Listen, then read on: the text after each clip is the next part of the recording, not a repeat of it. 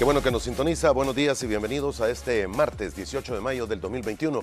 Les saludo Moisés Urbina y esto es Frente a Frente en Telecorporación Salvadoreña. Un placer recibir en la primera parte de esta mañana al doctor Álvaro Artiga González, politólogo y sociólogo. ¿Cómo está usted, doctor? Bienvenido. Pues un gusto, Moisés, estar con usted y con todos los televidentes a esta hora. Gracias por acompañarnos. Vamos a hacer un análisis político de los temas de coyuntura nacional. Y en la segunda parte vamos a tener aquí en el estudio a la licenciada Morena Valdés. Ella es la ministra de Turismo.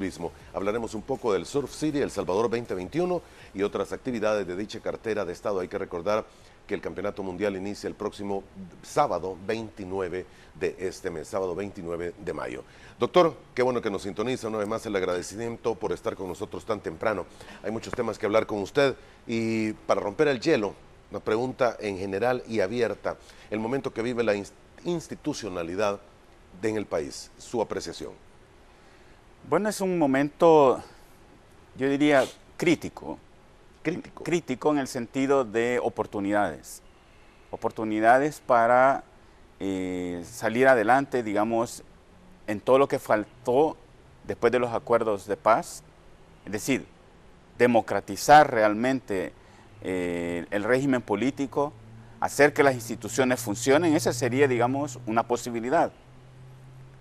Nombrando, digamos, eh, funcionarios de las instituciones como la Fiscalía, la, Corte de Cuentas, la Procuraduría para la Defensa de los Derechos Humanos, que sean profesionales, autónomos e independientes. Es una oportunidad porque, digamos, antes, ¿qué pasaba?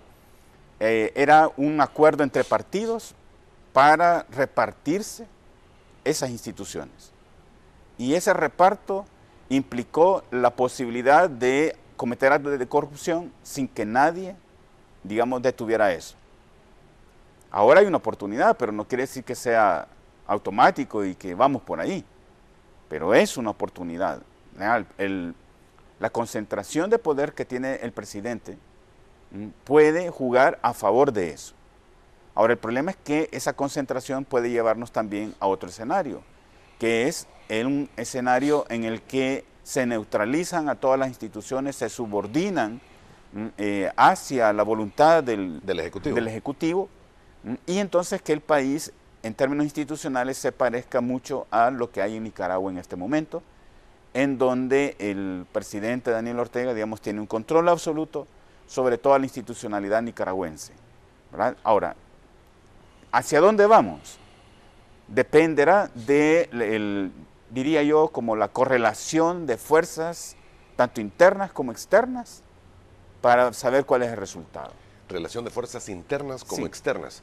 Eh, ¿De quiénes internas? Porque parecía saber una, una, una, sola correlación política ahí. Sí, por eso, eh, digamos, tengo que señalar yo que la posibilidad existe y también de que hay fuerzas internas. Lo que pasa que no son lo suficientemente fuertes, pareciera que hay un momento de retroceso de eh, diferentes actores, empezando por los mismos partidos que han sido desplazados, ¿verdad?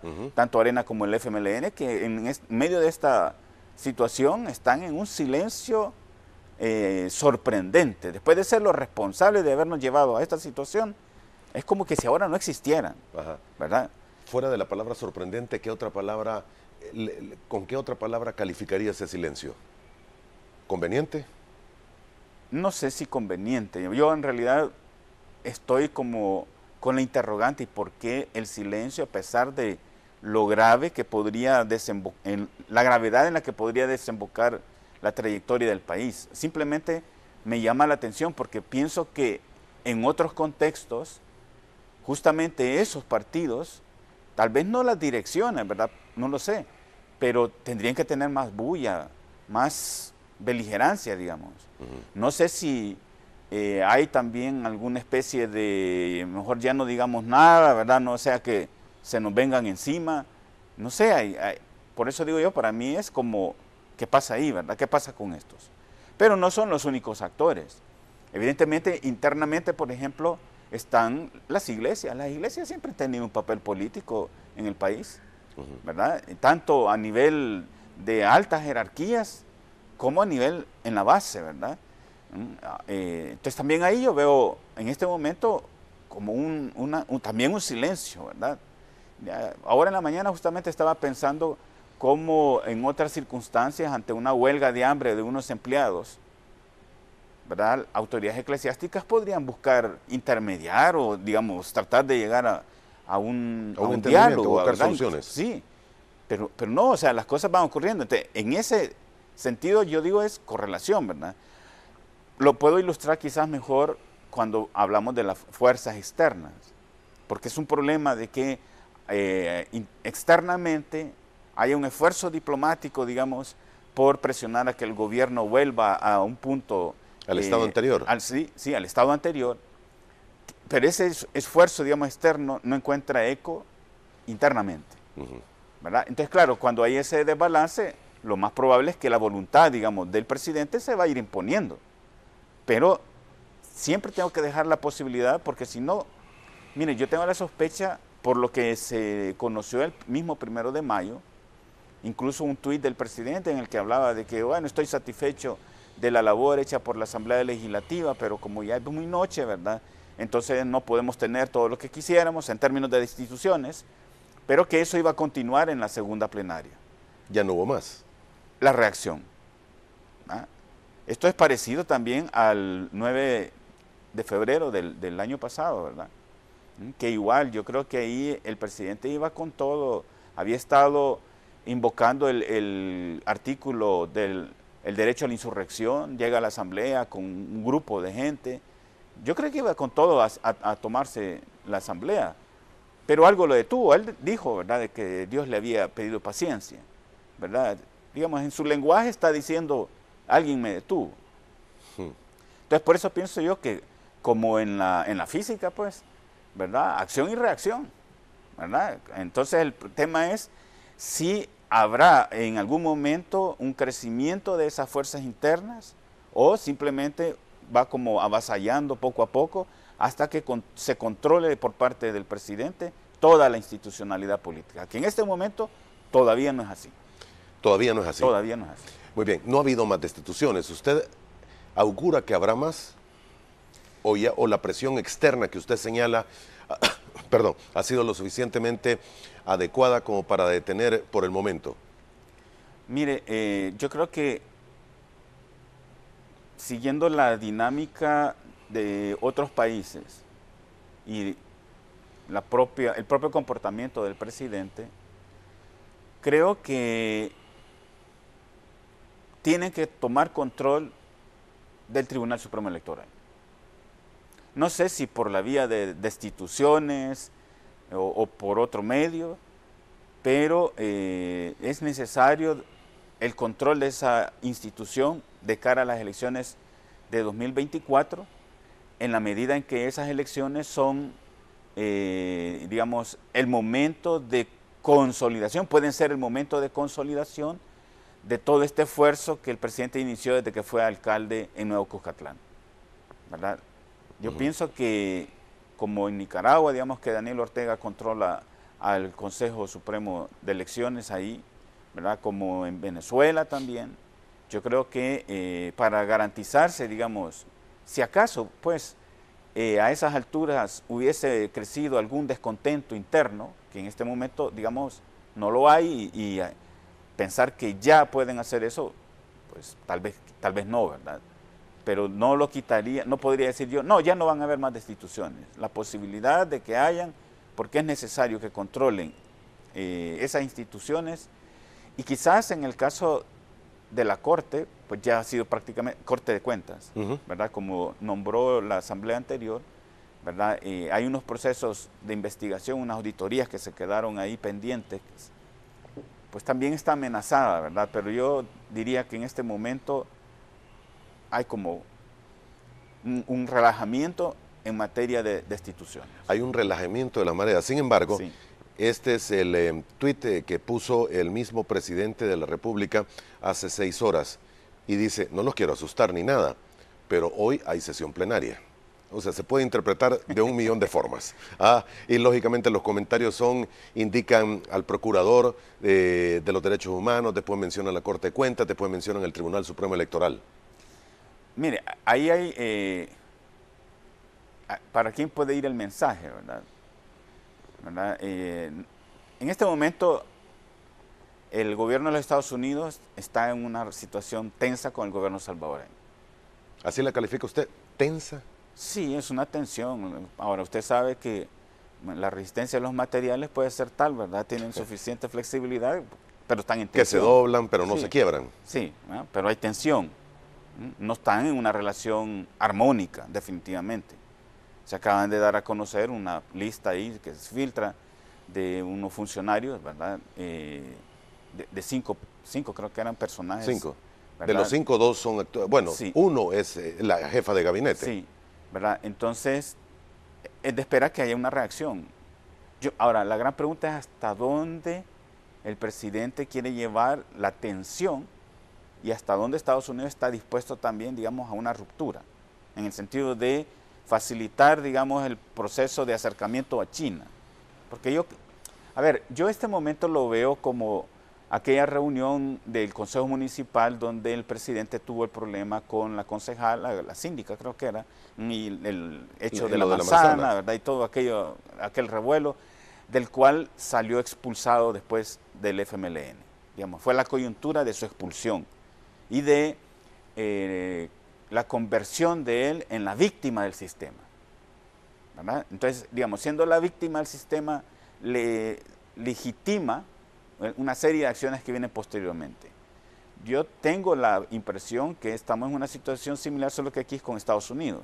Y él está como provocando a Estados Unidos para que venga una reacción que le facilite, digamos, el tránsito hacia, eh, hacia China. Considera que así es. O sea, está buscando la oportunidad. Sí, es que yo no entiendo, digamos, a ver, Dice que para Estados Unidos en las declaraciones del, enviado especial, ¿verdad? Zúñiga, Ricardo Zúñiga. Eh, una de las cosas que planteó era que, bueno, nosotros estamos dispuestos, ¿verdad?, a comenzar de nuevo, ¿va? Es decir, volvamos a donde estábamos el primero de mayo.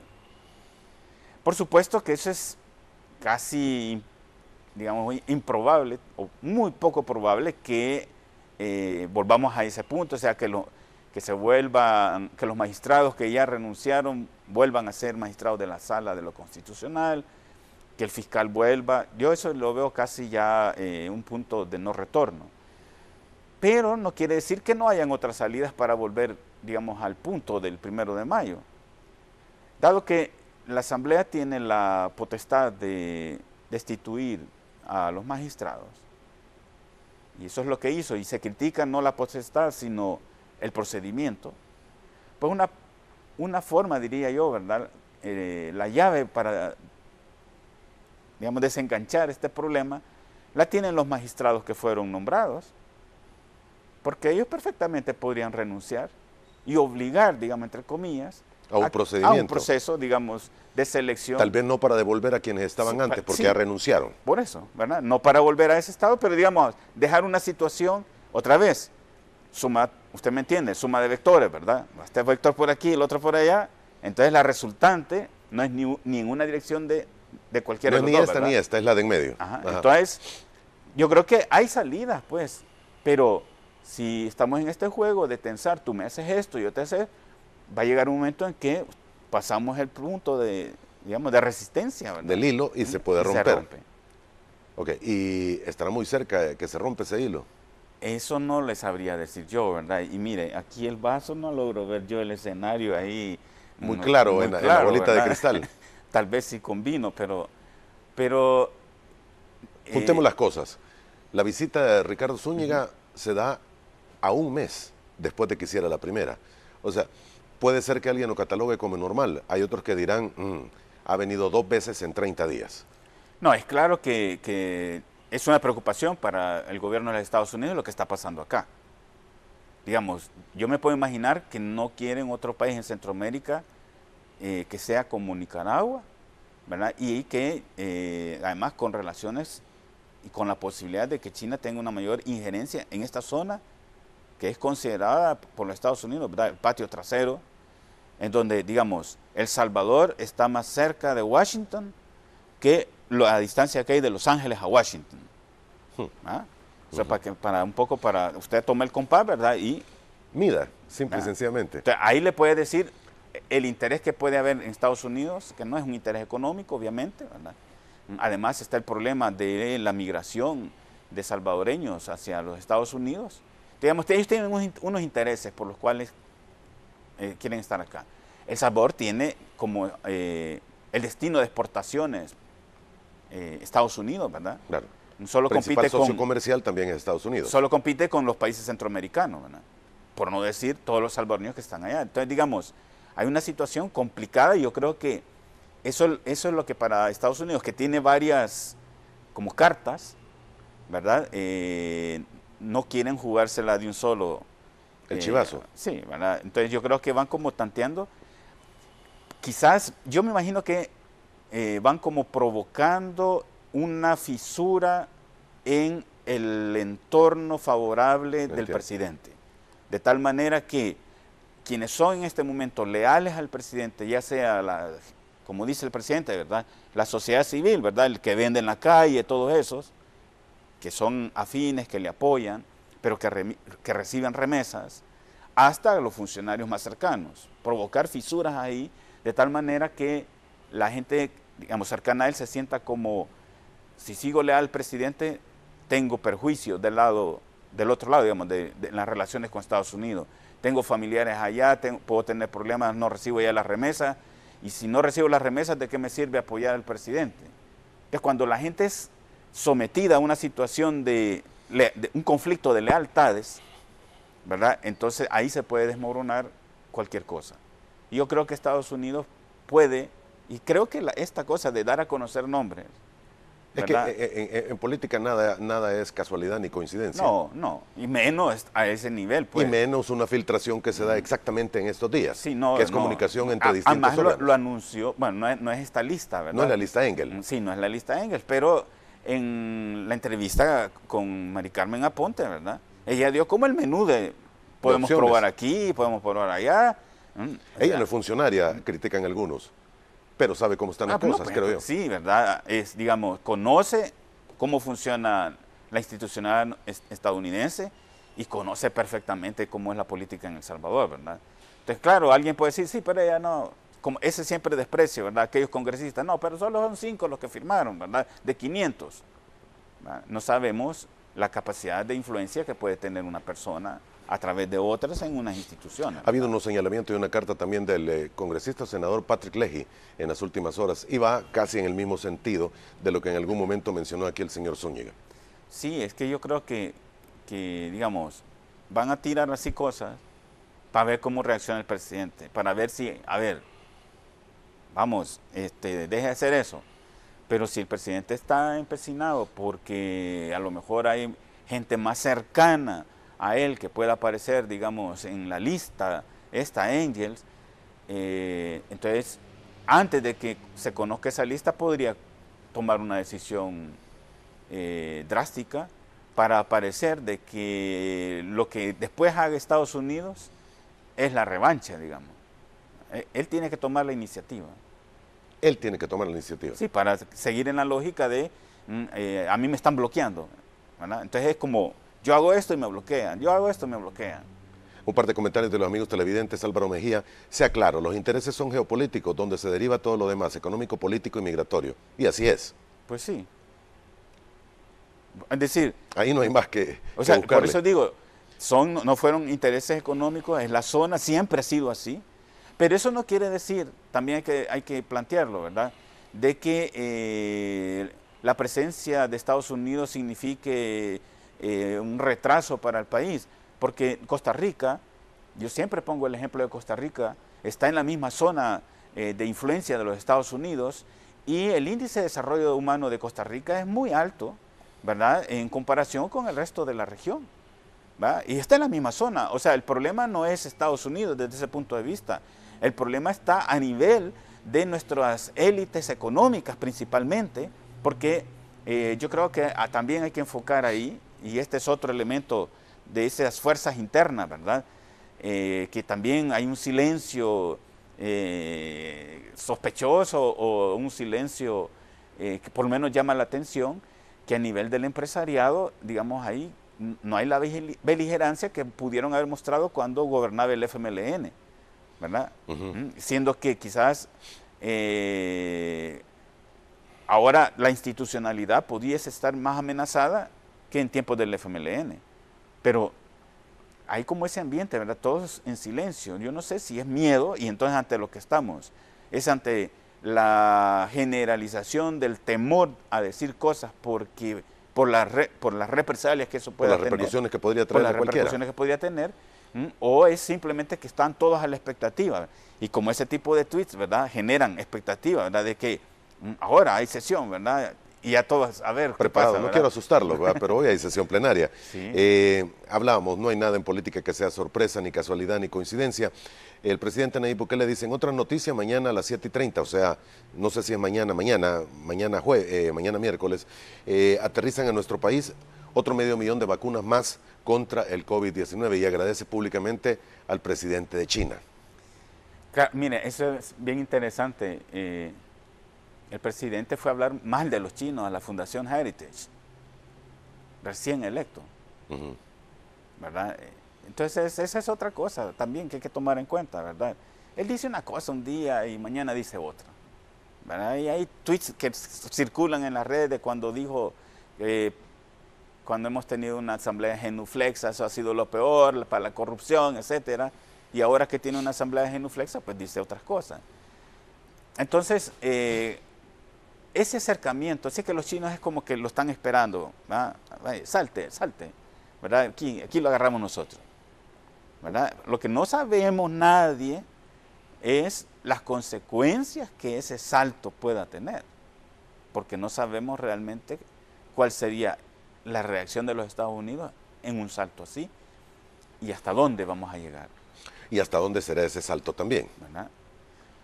Bueno, en principio ahorita son como eh, pequeños saltitos, se va acercando, que no sea drástico el salto, pero no sabemos las consecuencias. Digo, igual, a ver, eh, ¿Podríamos tener cooperación china para salir de problemas de atraso económico en el país? Pienso que sí. China podría hacer inversiones en la costa oriental. No teníamos hace algún tiempo el problema de la, isla Perico, pues que si un chino la compraba y las implicaciones que eso tenía. Un gran escándalo que se hizo por esa isla en el Golfo.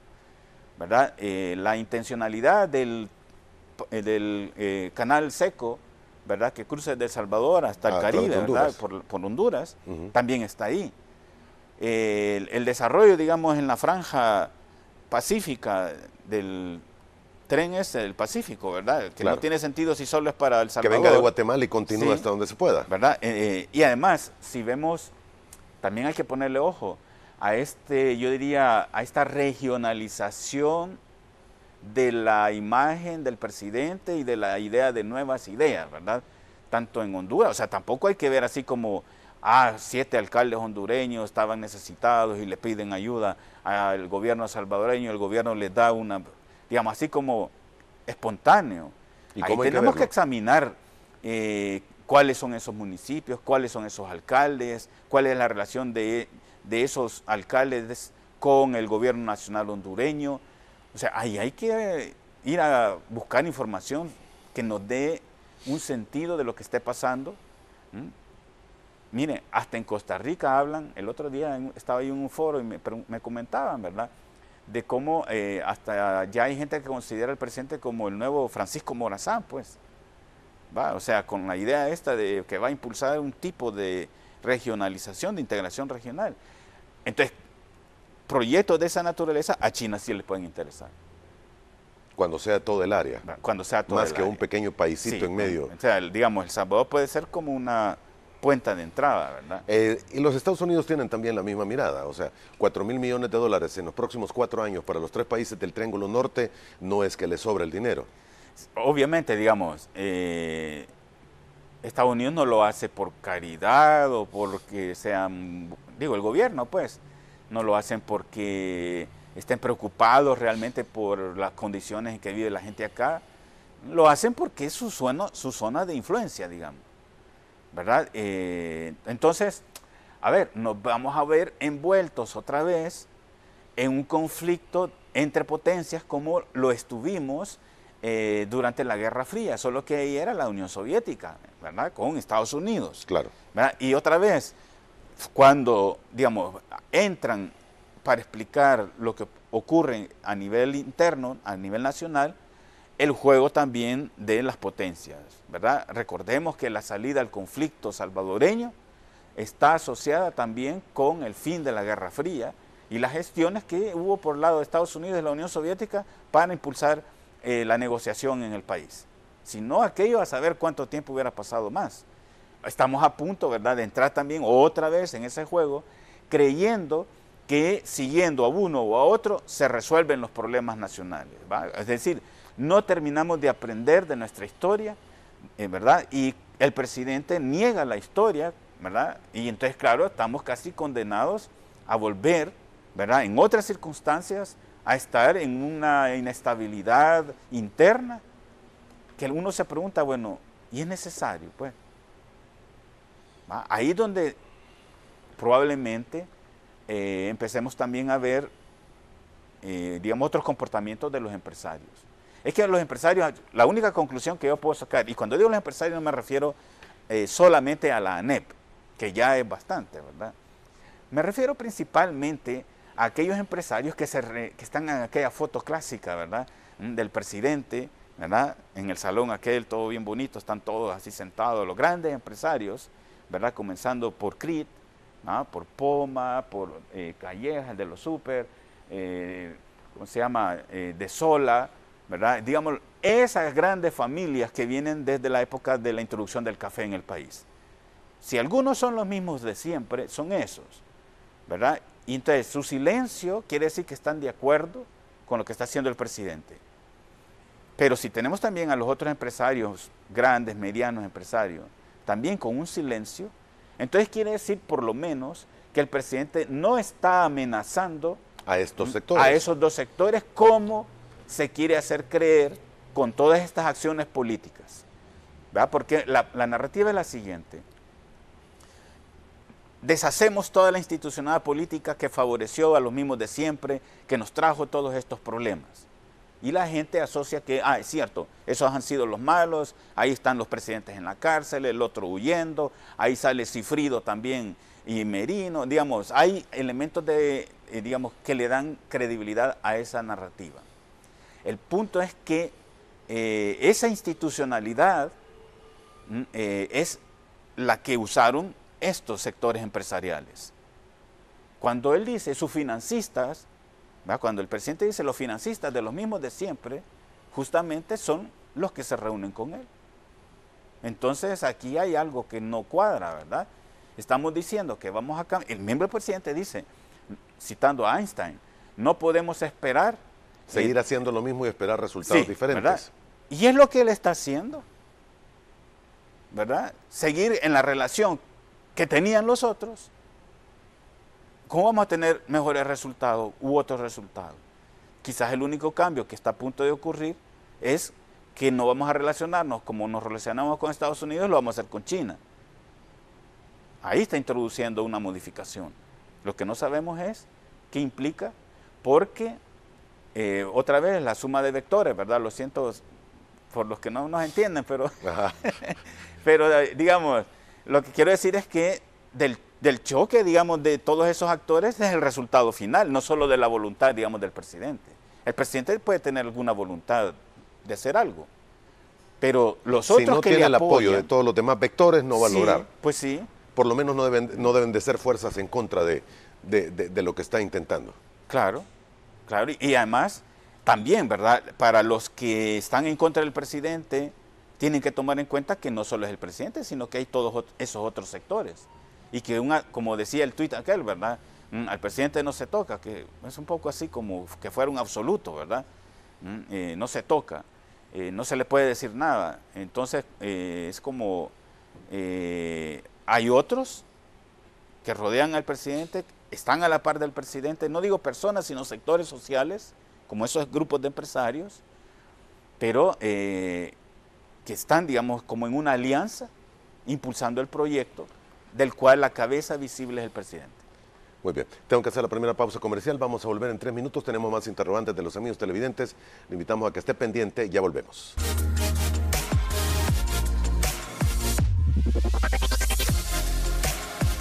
Muy bien, gracias por continuar con nosotros. El doctor Álvaro Artiga González, politólogo y sociólogo, y sociólogo, nos visita en esta mañana de martes en la primera parte de Frente a Frente. Hay más interrogantes, señor. Eh, ha hecho un anuncio también el presidente de la Asamblea Legislativa que hoy se va a conformar una comisión especial para investigar todas aquellas ONGs que en algún momento han estado recibiendo fondos del Estado y que no se sabe cuál ha sido su función y por qué del recibir estos que califican algunos como dádivas políticas.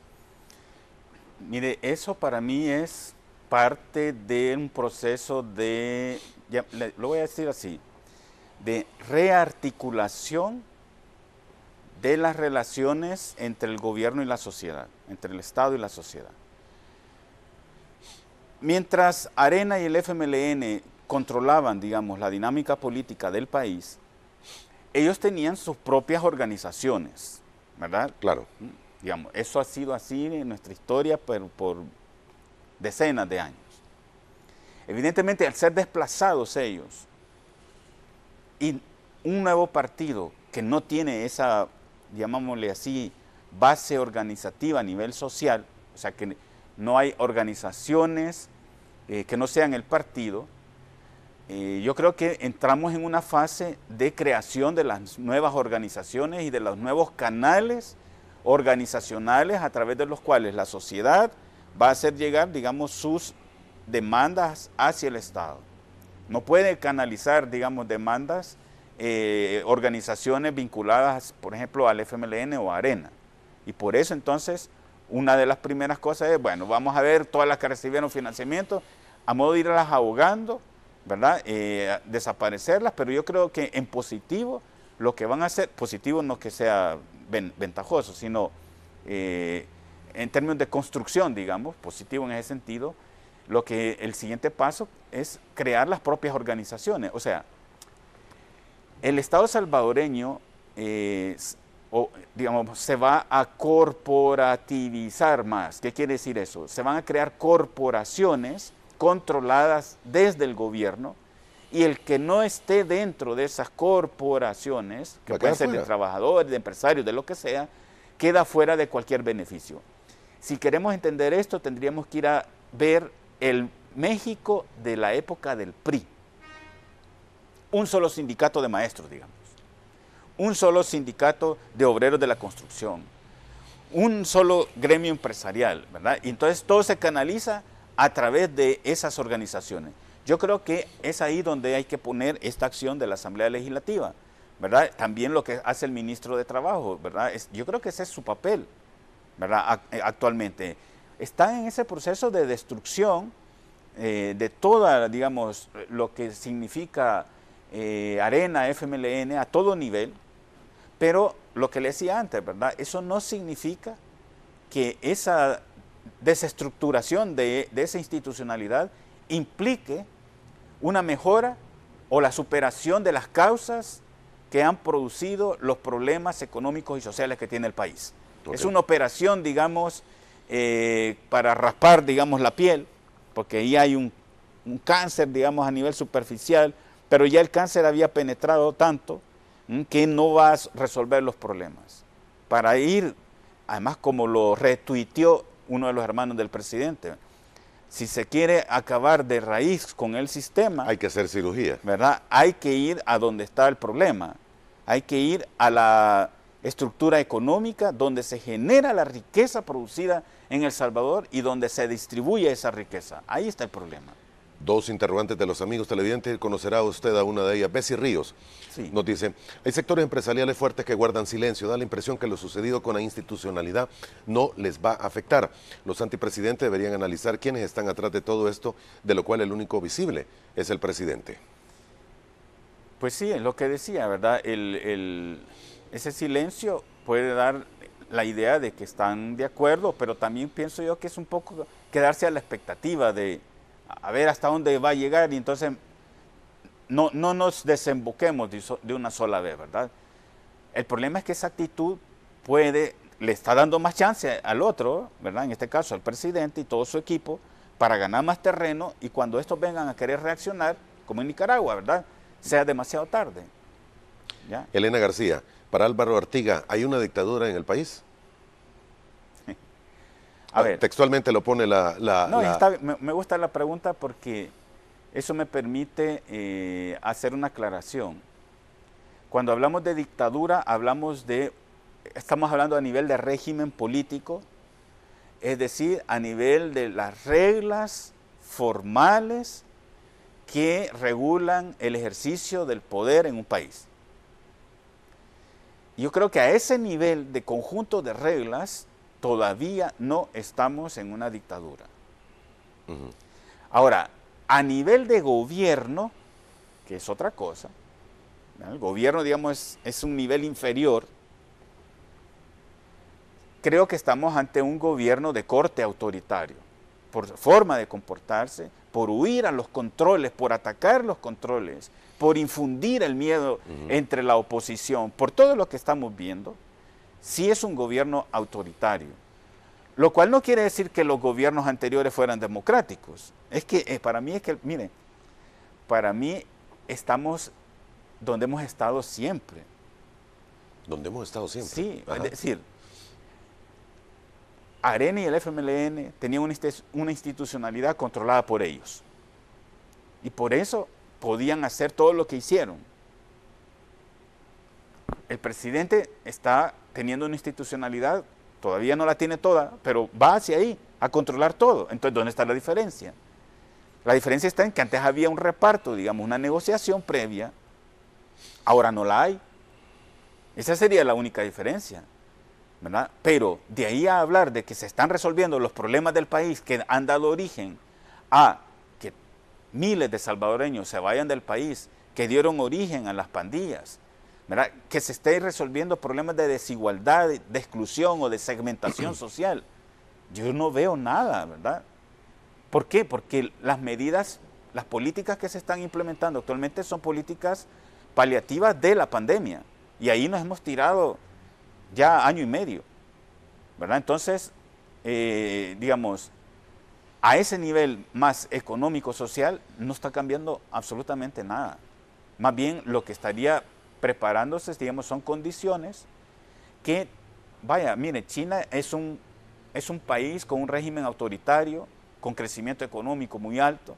O sea, el autoritarismo y el crecimiento económico no son divorciados, no son excluyentes. Se puede crecer económicamente, incluso puede haber algún nivel de reparto de ese crecimiento por la vía autoritaria.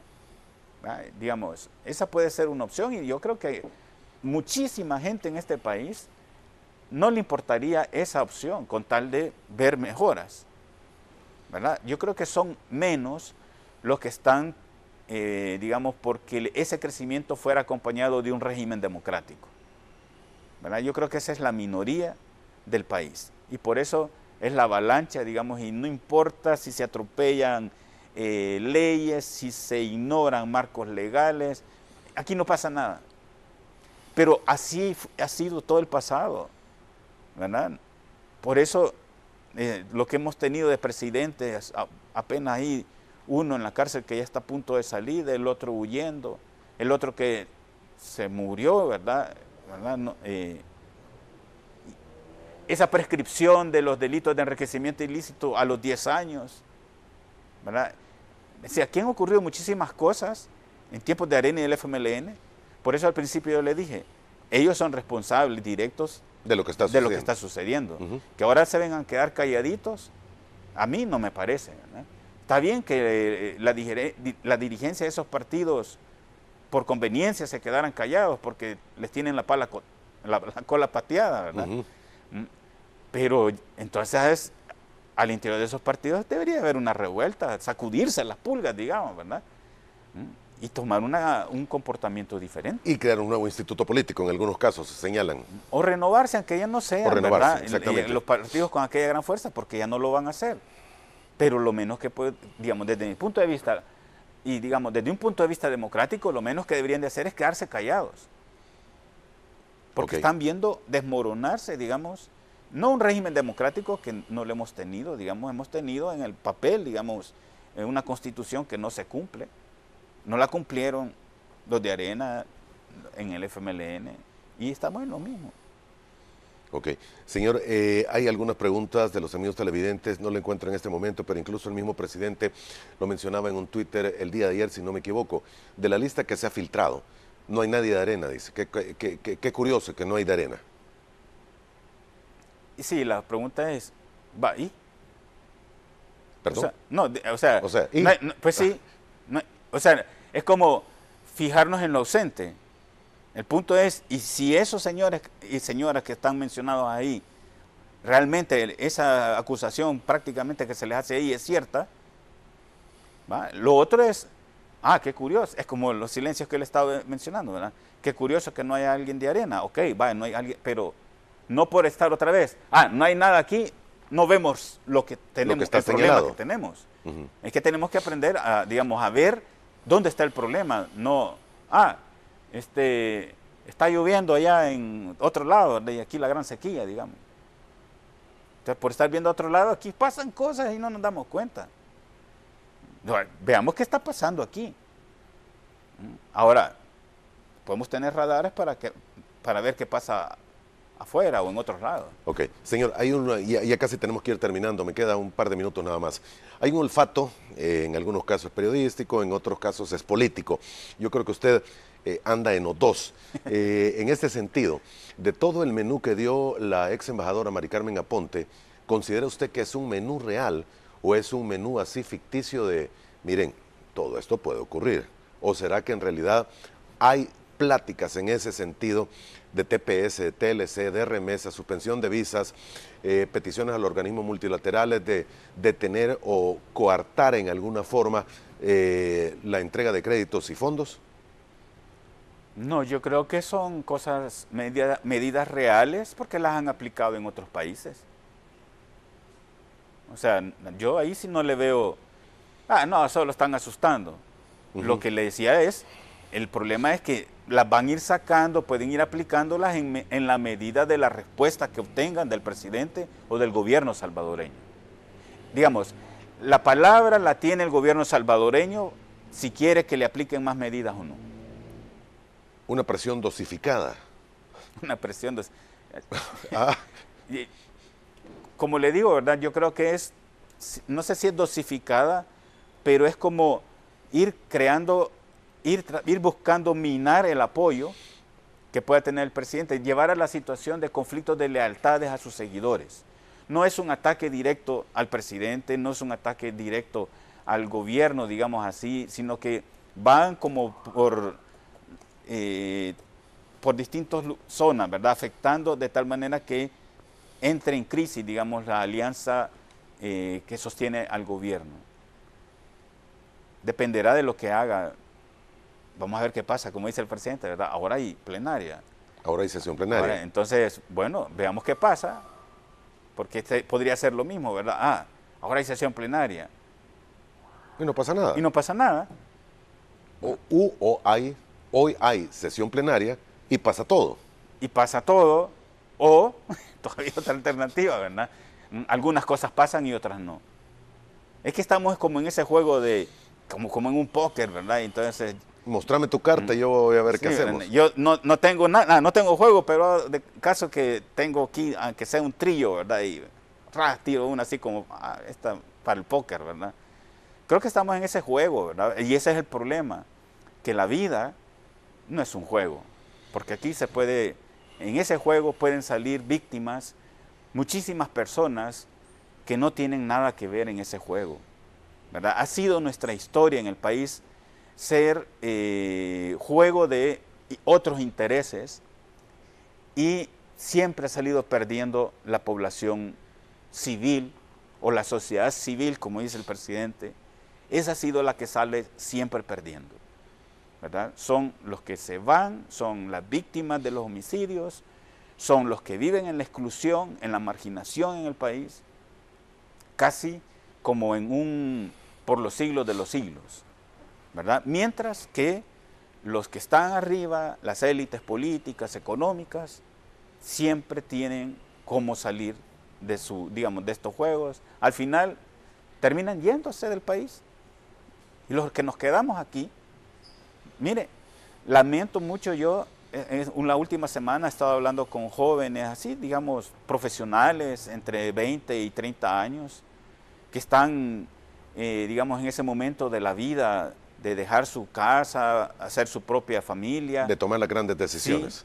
que eh, están casi con la desesperanza de no poder vivir en el país, aunque tengan buenos empleos, pero no le ven futuro. Entonces digo yo, no es justo, no es justo. Muy bien. Doctor, muchísimas gracias por el tiempo que nos regaló esta mañana. Gracias por la invitación, Moisés, y siempre dispuesto. Vamos a ver qué termina sucediendo en la sesión plenaria de hoy. Vamos a ver qué pasa. Gracias por habernos acompañado. Hacemos una pausa, vamos a volver en tres minutos y estará aquí en el estudio la licenciada Morena Valdés. Ella es la ministra de Turismo. Temas eh, muy importantes también que hablar con ella, como el campeonato que inicia el próximo 29 y todos los trabajos que se están desarrollando en el área de Surf City. Ya volvemos. Segunda parte de Frente a Frente en esta mañana de día martes. Nos acompaña la licenciada Morena Valdés, ella es la ministra de Turismo. ¿Cómo ha estado, ministra? Buenos días, bienvenida. Buenos días, Moisés. Siempre un gusto estar aquí en tu casa y bueno, pasamos del análisis político a acciones, que eso es lo que le interesa a la población salvadoreña. Exactamente, y hay acciones que se están tomando desde hace días, ¿verdad? En, toda la zona en donde se va a llevar a cabo este campeonato. Solo por poner las cosas en orden. El campeonato inicia el 29, sábado. Es el 29 de mayo y finaliza el 6 de junio. El 6 de junio. Ahora, eh, esos días el acceso para turistas, para salvadoreños, va a estar limitado en donde se den las competencias, ¿correcto? Exactamente. la competencia se va a llevar a cabo justamente en Playa El Tunco, es un kilómetro exacto desde La Bocana hasta el Playa El Sunsal. Toda esa área, las dos playas en donde se van a tener los dos podiums, que van a ser dos spots así le llaman dentro de la jerga del surf, esa playa no va a tener acceso al público. ¿Por qué? Porque los competidores deben estar concentrados y los competidores deben hacer su hit. En el surf son series eh, de hits en donde van clasificándose. estamos esperando alrededor de más de 50 delegaciones. Decirte que justo el 20 de mayo cerramos inscripciones y si todo sale bien y si la pandemia nos lo permite, porque hay muchos países que han cerrado o que, tienen problemas con o que tienen problemas para poder venir vamos a superar las inscripciones que se tuvieron en el último mundial del 2019 que fue en Japón, que fueron aproximadamente 50, tenemos tentativos pues más de 50, pero esperamos todavía las, los últimos avisos e inscripciones que nos dé la Federación Mundial de Surf. Entonces, para responder tu pregunta, sí, eso va a ser acceso limitado, un evento cerrado por bioseguridad y porque así se ya se, se, estableció con la, con la ISA, con la Federación Mundial de Surf,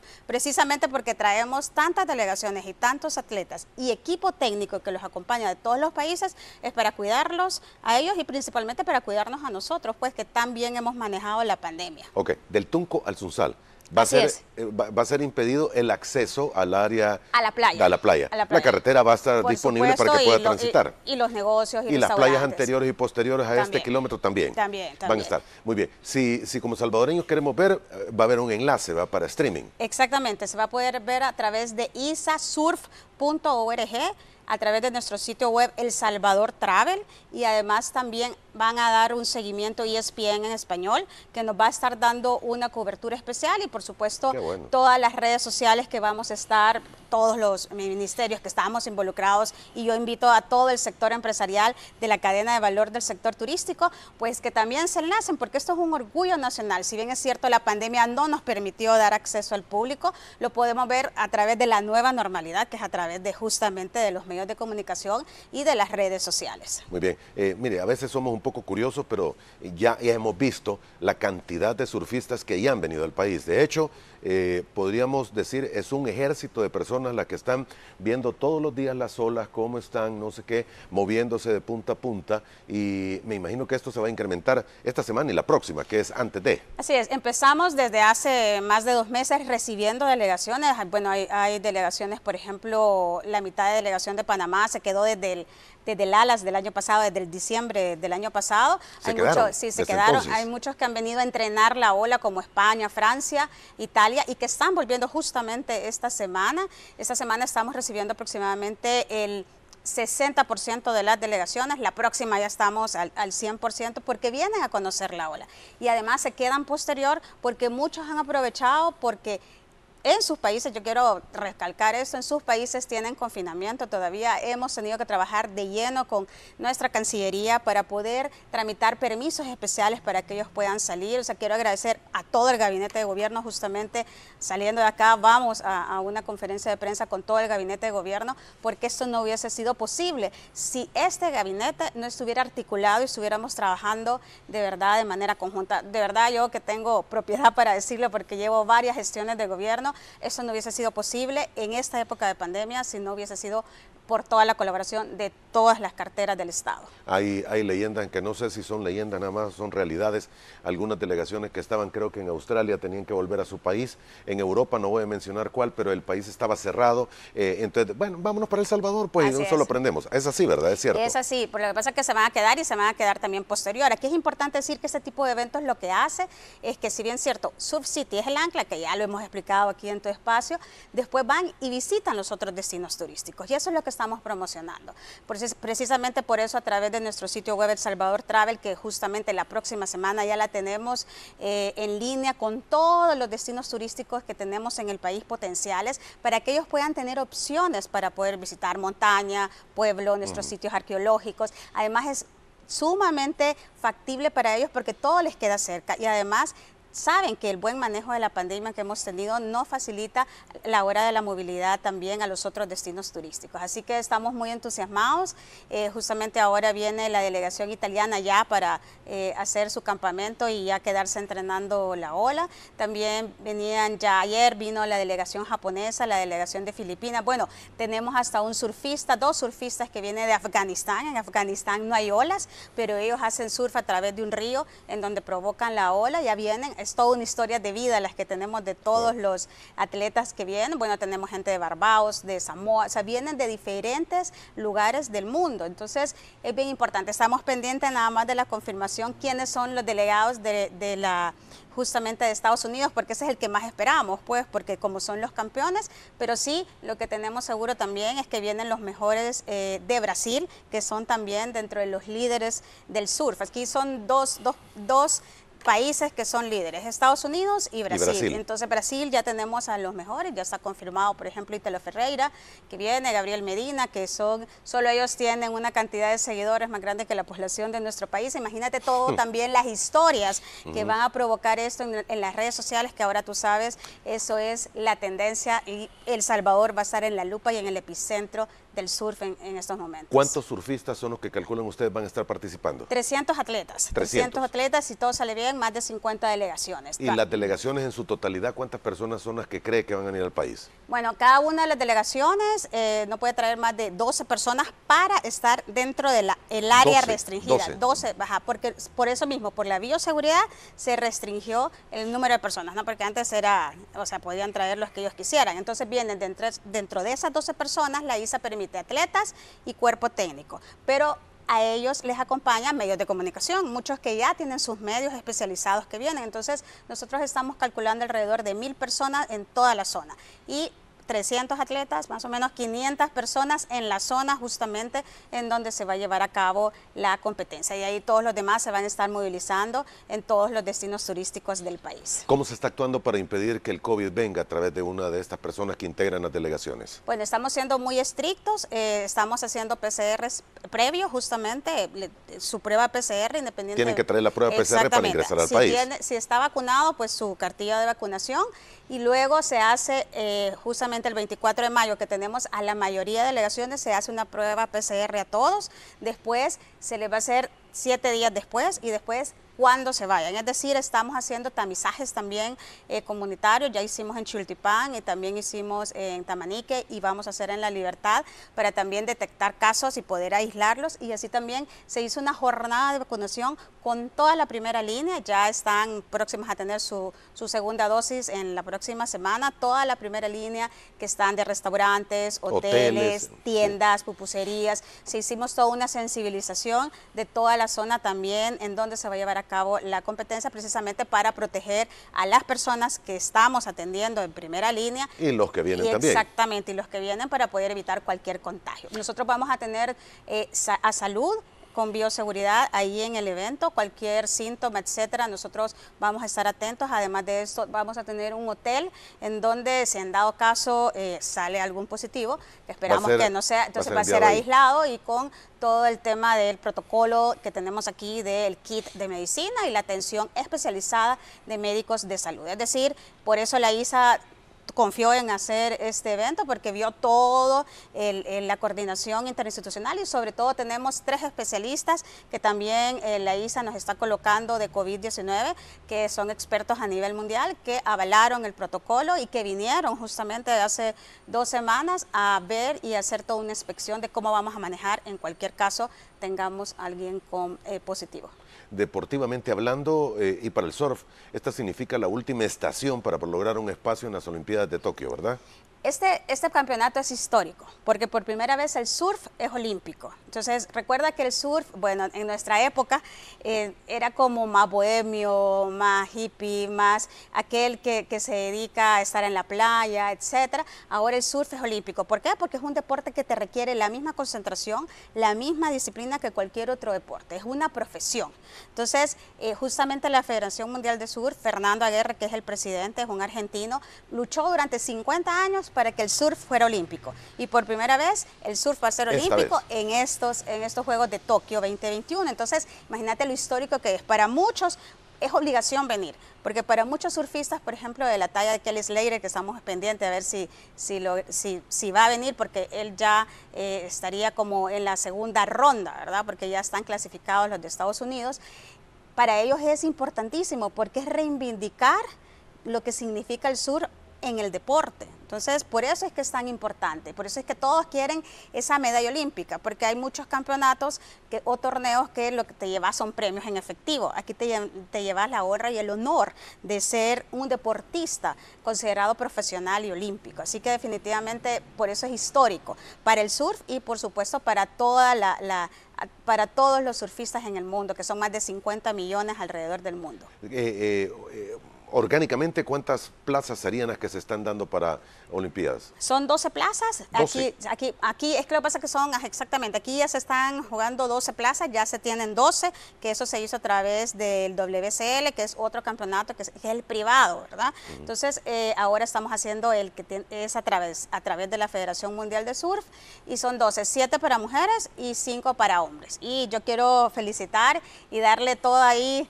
todo mi apoyo y espaldarazo a nuestra selección. Está entrenando desde hace varios días. Bueno, el INDES ha estado apoyándolo fuertemente para que estos atletas se preparen y por qué no tener ese, ese orgullo y apoyarlos, porque quién sabe, van a venir los mejores del mundo. Ellos van a estarse eh, jugando una plaza igual que los mejores del mundo en su casa, en su cancha. Así que de verdad toda la suerte a estos seis atletas que justamente están entrenando fuertemente para poner en alto el nombre del Salvador una gran responsabilidad y un gran peso en sus hombros también, porque es la oportunidad que El Salvador pueda llegar a las Olimpiadas en esta especialidad. E, y que es primera vez. Entonces, y que es primera vez. Yo siempre digo, eh, hay que tener mucha fe y mucho, y mucho orgullo en nuestros atletas. Es parte de todo este también eh, reactivación que se está haciendo también de la economía de un sector que ha sido el más fuerte, eh, más fuertemente golpeado por la pandemia COVID-19 y que en muchos países que en lugar de estar abriendo como nosotros lo estamos haciendo y haciendo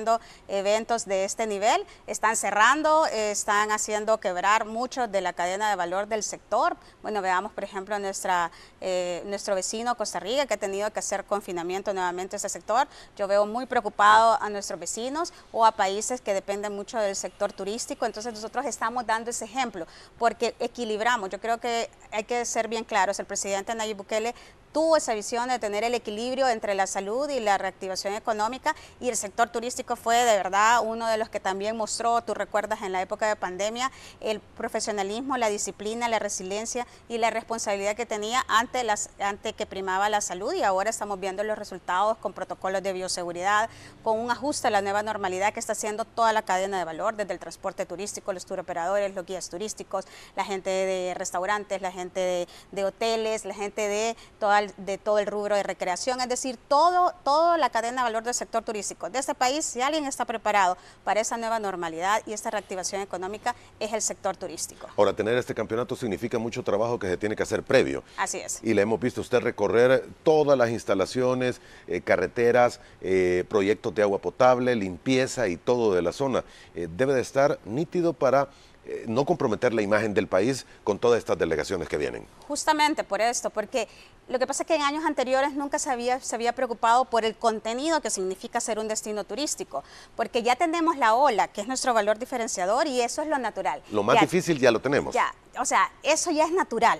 Además ya tenemos paisajes, ya tenemos destinos turísticos, ya tenemos historia, ya tenemos lo natural. Pero aquí lo importante es que eso natural se complemente con la oferta turística que podemos ofrecer, tanto en lo público como en lo privado. Eso es lo que nunca se había hecho. Y gracias a la articulación de este, este gobierno liderado por el presidente Bukele, es que estamos teniendo esa visión. Y justamente hoy, antes de, venir acá, hablaba con, eh, con el presidente de ANDA, que justamente están colocando un nuevo sistema de bombeo en toda esa zona, porque la demanda del agua ahora es mayor. Entonces, es preparar esos destinos para los turistas, tanto nacionales e internacionales. Después de eh, la la apertura del camino Surf City, por ejemplo, toda esta zona aumentó alrededor de 70% de, en sus ventas. ¿Qué quiere decir? Esto les abrió o sea, una mayor demanda, pero por eso mismo necesitamos más, eh, más agua, necesitamos una mejor conexión de internet, necesitamos una mejor distribución de energía eléctrica. Ayer justamente nos sentábamos con la distribuidora que es de esta zona, que en este caso es del sur,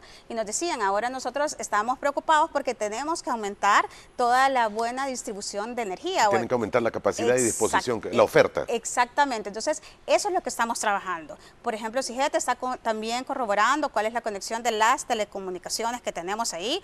Justamente el jueves vamos a inaugurar eh, un nuevo tipo de alumbrado eléctrico que vamos a tener en esta zona, que esto lo estamos haciendo con Del Sur y ahí nos vamos a encontrar con todos los entes y los actores claves. Y aquí ha sido bien importante la comunidad, o sea, la comunidad bien organizada, los empresarios bien organizados y por supuesto ahora que vamos a tener la gran ventaja de tener a, los, a las municipalidades también trabajando con esa misma visión. Aquí todos somos parte, pero yo quiero felicitar a toda la zona Franja Costero Marina en donde tenemos un gran desarrollo turístico, en donde ha sido clave tanto las asociaciones de desarrollo comunal como los comités de desarrollo turísticos que lo conforman los empresarios, porque sin ellos no pudiésemos estar trabajando y es para ellos que nos debemos, porque estamos trabajando siempre, todos los proyectos que llevamos los trabajamos de las manos con ellos, porque al final el turismo lo que hace es reactivar la zona.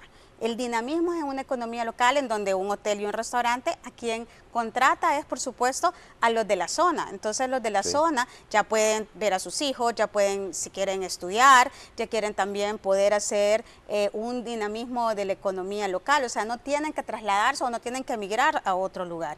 eso es lo que hace el turismo, eh, que hace que genere una economía local y en donde hace también una mejor calidad de vida para todos los pobladores de esa, de esa zona. El punto culminante de todo este preparativo y de todo este esfuerzo será entre el 29 de mayo y el 6 de junio. Pero, ¿qué va a suceder después, ministra? Porque tener todo ello preparado, tener esa ola que Dios y la naturaleza nos han regalado, eh, sería de ponerla en vitrina pública internacional. Miren, aquí está. O sea, sigámoslo ocupando también. Sí, aquí va a ser bien clave toda la gestión que estamos haciendo a nivel social, a nivel de infraestructura, a nivel también del componente productivo que es con los empresarios, porque va a quedar infraestructura. O sea, tú ya vas a ver eh, toda la parte de la zona del Tunco y el Sonsal ya con nueva infraestructura, entonces ahora va a depender de los empresarios, de la comunidad de cuidarla, ¿verdad? Vamos a tener un mejor bombeo con el agua potable, vamos a tener una mejor distribución de energía eléctrica y es no solo trabajar en esa zona. Recuerda que City son los 300 kilómetros de la zona franja costero marina, es trabajar el occidente, es trabajar también las otras playas aledañas que tenemos en en City 1, es trabajar todos los proyectos que tenemos también ya. Eh, en, mira en, la zona oriental y conectarlos también con aquellos destinos turísticos especializados que te comenté la última vez que estuve aquí, que son de montaña, que son de pueblo, que son también... Eh, de historia, de cultura. Entonces quiere decir que lo que nos queda ahora es aprovechar este evento, como lo hicieron muchos, muchos destinos turísticos, por ejemplo Barcelona cuando fueron los Juegos Olímpicos, o Brasil cuando fueron los Juegos Olímpicos y el Mundial, que queda la infraestructura y ahora sigue poder seguir construyendo el tejido social para que ese destino se fortalezca en cuanto a infraestructura pública, infraestructura privada, en cuanto a tejido social, en cuanto a capacitación de recursos humanos, en cuanto también todos aquellos eh, componentes que se necesita para que un destino sea también sostenible en el tiempo. Recuerda que ahora con la nueva tendencia, la tanto la innovación tecnológica, la, era digital, pero sobre todo el contacto con el medio ambiente y la sostenibilidad medioambiental va a ser clave a la hora de poder seguir promocionando y posicionando a El Salvador como un buen destino para venir a visitar. Se tiene y se ha montado, eh, debo entender, por lo que he visto, plantas de tratamiento de agua y de aguas residuales o aguas negras también, ¿verdad? Eso va a ser clave y eso yo quiero también llamar a la población y sobre todo a los, em, aquellos empresarios que lamentablemente ya veníamos trabajando así un poco, ¿verdad? Este, yo siempre les decía a los empresarios, a veces ustedes lo que hacen es prefieren pedir perdón que pedir permisos, porque antes se tardaban una eternidad, ahora tenemos a un gobierno que está trabajando de la mano con ellos y está facilitando todo eso. Entonces es de que cada uno de los empresarios tengamos esa conciencia también, si bien es cierto, nosotros desde el sector público. Estamos trabajando en plata de tratamiento de aguas negras, en introducción a agua potable, cada uno de los empresarios también tienen su eh, ítem de responsabilidad social empresarial para ver de qué manera ayudan a la comunidad, porque de nada nos sirve, siempre lo hablamos con los empresarios, tener alrededor a todo el mundo sin agua o sin tratamiento de aguas negras si yo tengo en mi burbuja, ¿verdad? El hotel o el restaurante. Entonces, esto va a ser clave. Ese trabajo entre lo público y lo privado es clave a la hora de desarrollar los destinos turísticos. No puede ser uno nada más el que está haciendo las cosas, tienen que ser todos al mismo tiempo. Exactamente. Entonces, esa conciencia y esa sensibilización, bueno, a mí me llegan muchos también... Eh, denuncias en las redes sociales, qué vamos a hacer con este empresario que, que no está acatando las medidas para tener eh, el cuidado del medio ambiente, etcétera. Yo les digo que yo todos los leo y eso va a ser clave también, la denuncia ciudadana que estamos haciendo para poder sentarnos con los empresarios y decir, yo sé que antes no se hacía así, porque antes no se le escuchaba, o porque antes nunca tampoco se daba un permiso, o porque no se le guiaba a la hora de decir, mira, esto es por aquí, esto va por este camino. Entonces, ahora sí se está trabajando de la mano con todos los ministerios eh, aquí bien importante enfatizar eso, para que podamos trabajar en conjunto, porque al final, si nosotros tenemos un mejor cuidado del medio ambiente, vamos a tener mejor un destino, vamos a tener un mejor destino turístico que ofrecerle tanto a los nacionales como a los internacionales. Muy bien, antes de ir a la última pausa comercial que tengo que hacer, eh, eh, ministra Mancía nos dice, ¿cómo se preparó la industria hotelera en el país para este evento? ¿Se ha preparado, verdad? Sí, se ha preparado, es importante la pregunta. Nosotros estamos haciendo desde previo al evento también, primero el, el tema de bioseguridad. Y además de eso le estamos incluyendo un, un componente, el tema de calidad. Entonces nosotros sabemos que en la zona costero marina eh, necesitamos todavía elevar el nivel de calidad que tenemos de atención al cliente. Entonces justamente en eso estamos trabajando. Además de eso se va a tener charlas con chefs especializados para poder darle un toque a toda la alimentación que vamos a dar en todos los hoteles que tenemos en la zona franja costero marina.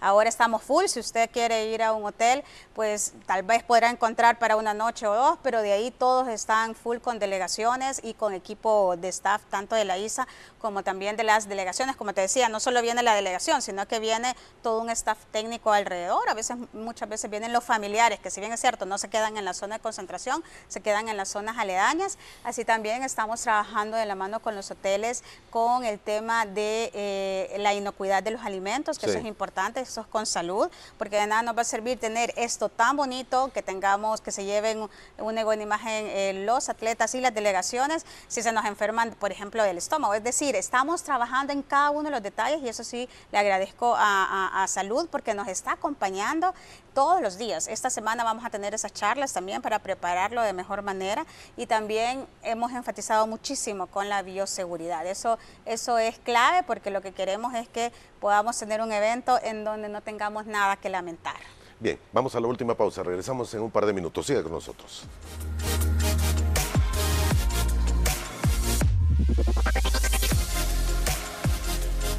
Parte final de nuestro programa de esta mañana, la licenciada Morena Valdés, ministra de Turismo, está en nuestros estudios. Queremos aprovechar también, nos ha traído unas declaraciones de algunos de los surfistas que ya están en el país para transmitirla en este momento y es lo que ellos piensan de lo que se está haciendo y lo que va a ocurrir. El Salvador the people they're really enjoying. having people from other countries coming to Salvador. Yeah, it's so nice here, literally like paradise. Probably the best waves I've ever had in my entire life, I think. Yeah, I'm actually I'm actually hoping that we can have it here again next year. I mean, we've never had such perfect waves. Probably one of the best places in the world I've visited.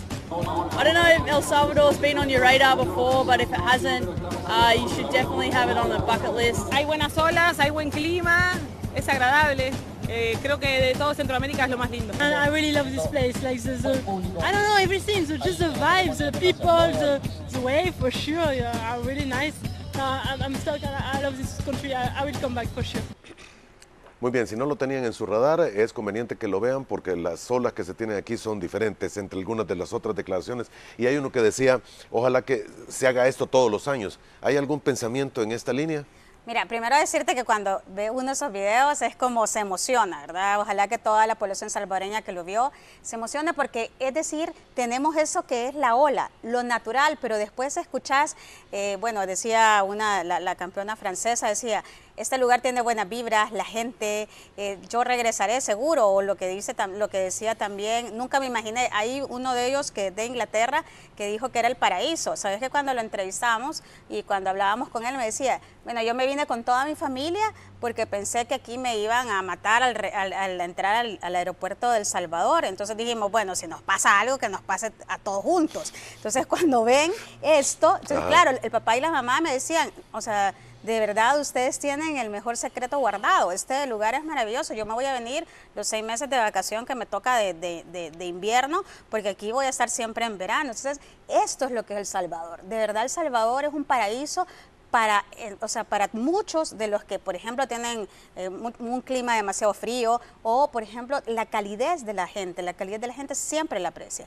Y sí, precisamente nosotros estamos eh, teniendo un plan tanto con la ISA y también pronto con el WCL para ver de qué manera hacemos ese tipo de campeonatos. Pero para ello tenemos que tener esa infraestructura pública del que te hablaba. Muchos de los campeonatos anteriores se hicieron en otros spots en donde no tenemos todavía infraestructura pública y fue lo que nos evaluó la Federación Mundial de Surf. Yo sé sobre todo con los locales, porque bueno, yo, eh, eh, yo vivo en, en esa zona, eh, tenemos mejores spots que precisamente los donde vamos a tener ahora los dos podios, pero ninguno tiene la infraestructura eh, pública y privada que tenemos, por ejemplo, en esta zona del Tunco y el Sunsal. Entonces lo que vamos a hacer es construir y eh, también armar el tejido social que podamos tener en los otros spots de eh, la zona franja costero marina. Tenemos eh, olas de clase mundial como Punta Roca o Punta Mango en, en Oriente, también tenemos olas de clase mundial en Acajutla, tenemos sí. olas de clase mundial también en, en, otras playas de la zona oriental. Entonces es, ya estamos identificando, ya sabemos qué es lo que necesitamos en cuanto a infraestructura pública, eso va a llamar in, inversión privada y de esta manera vamos a poder dar a conocer toda la zona franja costero marina, pero voy a seguir insistiendo, Surf City es el ancla que nos hace también que los otros destinos sean conocidos por todas las personas que nos visitan. Y que nos recomienden después. Muy bien, nos dice MM Eagles. Señora ministra, la felicito, la vi, en el sábado, la vi el sábado a las 10 de la mañana trabajando y supervisando la torre de observación que se ha construido en el Sunsal. Hay una torre de observación. Exactamente, es que como, te, como, les explicaba, tenemos dos torres, o sea, dos podiums, le, le, dicen sobre todo la Federación Mundial de Surf, en donde vamos a tener competencias paralelas, porque como vienen tantas delegaciones, entonces lo que se hace es... Simultáneo se, aquí y allá. Exactamente. En La Bocana se va a tener, eh, estamos pendientes que nos confirme la ISA que La Bocana sea el podio principal y el podio 2 sería el Sunsal. Pero en el Sunsal vamos a tener la vía olímpica de todas las delegaciones, en donde ellos se van a estar trasladando y en donde ellos también van a tener por ejemplo, eh, todos un centro para primeros auxilios, también de fisioterapia, porque recuerda que cuando salís de, de surfear, pues necesitas eh, que pueda, exactamente, uh -huh. para, para que no tengas ninguna, o sea, ni, ningún percance después. Entonces, justamente vamos a tener dos, dos podios en donde vamos a tener dos estructuras iguales, en donde también como no, se, no, no, va a estar abierto al público, entonces también tenemos toda una conexión de, para tener ese vía streaming de primer nivel, ¿verdad? Eso que, por eso la ISA nos ha exigido tener una conexión eh, definitivamente de primer nivel de, de, infraestructura turística. Entonces ahí es donde nosotros vamos a estar transmitiendo todo. Eh, generalmente las, las competencias de surf, eh, dependiendo del oleaje, aquí eh, cuando me dicen, ¿y cuándo inicia? Bueno, va a depender del oleaje, y va a depender uh -huh. del suelo y va a depender también de las mareas, si es la alta o la baja. Entonces, pero generalmente inician muy temprano y, y finalizan alrededor de las 3, 4 de la tarde. Bien, eh, hay preguntas muy específicas de los amigos televidentes, pero creo que son obvias las respuestas. Se las leo por respeto a ellas porque dice, instalaciones del Club Salvadoreño eh, han sido alquiladas por la ISA, pero me imagino que el Club Salvadoreño, el Club Tecleño y los demás que están por ahí van a estar cerrados en esos días, porque están dentro del circuito. Exactamente, están dentro del circuito, están cerrados. Aquí decirles también que esto ha sido una colaboración de todos los empresarios que tenemos en la zona, ¿verdad? Eso justamente la ISA dijo, este es el lugar en donde queremos tener. Entonces la ISA hace una inspección y la ISA avala todo esto y, y lo que hace es como necesitamos cerrarlo, entonces justamente esta zona en donde se refiere la persona va a estar cerrado al público y solo va a poder entrar las delegaciones. Eso por, lo, los días nada más que vamos a tener. Yo quiero agradecerle a todos los empresarios del sector porque todos sabemos que estamos poniendo de nuestra parte. Igual sabemos también que íbamos a tener alojados a todas, a todas las delegaciones y que esto lo que nos va a generar es un buen posicionamiento del país y esa imagen eh, del país que somos un buen destino justamente lo que decían nuestros amigos eh, que, acabamos de, ver, nuestros amigos surfistas, en donde dicen, nunca había tenido en el mapa El Salvador, hoy sí, porque nunca me imaginé las olas, nunca me imaginé la calidad de la gente, la comida, muchos dicen sobre la comida salvadoreña y sobre todo la cercanía de los destinos, que pueden vivir vacaciones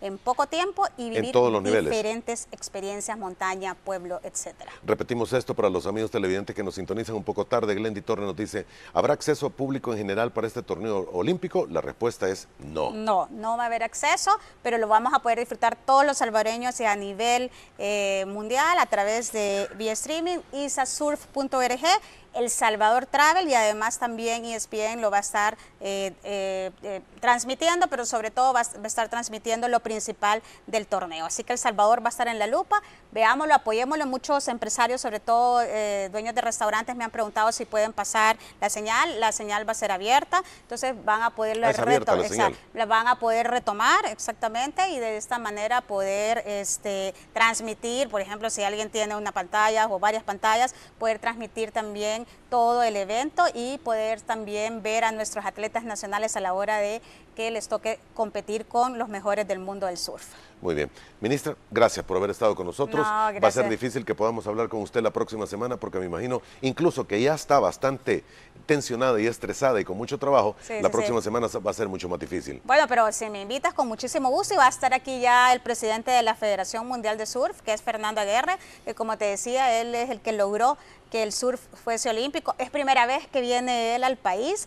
Él ha visitado todos los países, menos El Salvador, porque eh, para él era muy peligroso venir. Ahora está encantado. Bueno, él tuvo contacto directo con el presidente Bukele a la hora de que pudimos tener esta sede del Mundial de Paddle Surf eh, y está muy entusiasmado de poder venir y además de eso admira muchísimo el trabajo que se ha hecho tanto para eh, Surf City, pero también el buen manejo de la pandemia porque ha sido también de una de las personas que más ha cumplido con el confinamiento y está muy seguro de venir al país y esto también habla muy bien de lo que El Salvador proyecta a nivel internacional. Y viene la próxima semana, estar aquí. Viene la próxima semana, así que si nos invitas, pues con mucho gusto. Muy bien. Gracias por haber estado con nosotros, ministra, muy amable. No, gracias a ti una invitación a la población salvadoreña que sigamos este evento y nos sintamos orgullosos también de nuestros atletas salvadoreños. A usted, amigo televidente, gracias por habernos acompañado. Feliz día y primero Dios, nos volvemos a ver mañana, miércoles a la misma hora. Buen día.